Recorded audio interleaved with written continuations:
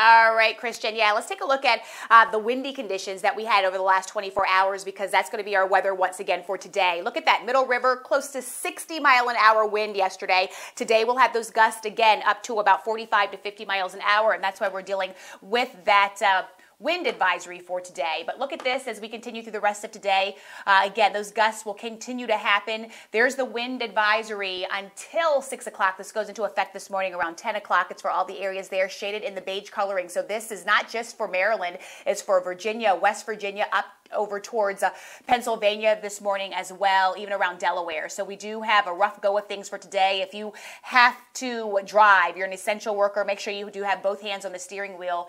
As we look at these these uh, sustained winds, I should say right now, out of the west at about uh, 5 to 15 miles an hour. They'll be a little bit higher than that, but most importantly, those gusts is what really is going to get you as we head more towards the afternoon. This is the wind chill for today. This is what it feels like with those winds.